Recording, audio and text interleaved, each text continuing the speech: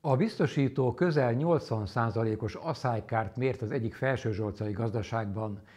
A vállalat kertésze elmondta, a mezőgazdaságban nagyjából mindenhol ez a helyzet a nagy szárazság miatt. Az asszály egyre nagyobb problémát jelent, olyannyira, hogy már az őszi vetés is veszélybe került. A szakemberek szerint a most hétvégére jósolt csapadék akkor jelenthet megoldást, ha nem özönvíz formájában érkezik, csendes esőre lenne szükség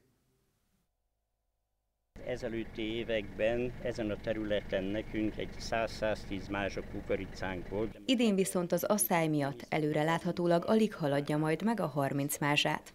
A mezőgazdaságok súlyos károkat szenvedtek az idei időjárás miatt. A talaj egyre szárazabb, a növények pedig nem kapnak elég tápanyagot. Ez a mély megtalálta a gazdaság egyik legszebb napraforgóját. A növények többsége viszont nem így néz ki. Tányérja elszáradt, a szemek pedig aprók, ami az olaj előállításánál komoly problémát jelent majd. De hasonló a helyzet a gyümölcsösökben is.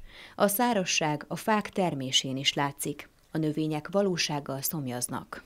Hiába van a csepegtető öntözésünk, a légköri asszály meggyötri a fákat.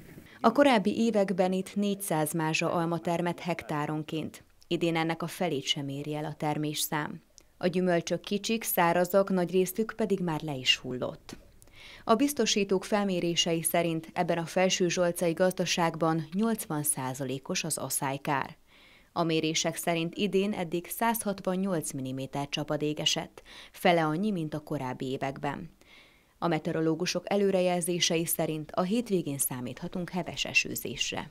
Itt már ezeken a kapásnövényeken a kukoricán, napraforgón ezen már nem segít.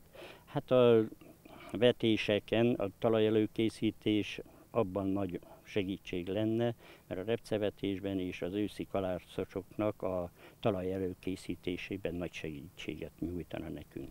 De az is nagyon fontos lenne, hogy ne özönvíz formájában érkezzen a csapadék, tette hozzá Bodnár Imre. Hosszú ideig tartó csendes esőre lenne szükség. A gazdaság kertésze hozzátette, ha a közeljövőben nem esik legalább 100 mm csapadék, veszélybe kerülhet az őszivetés.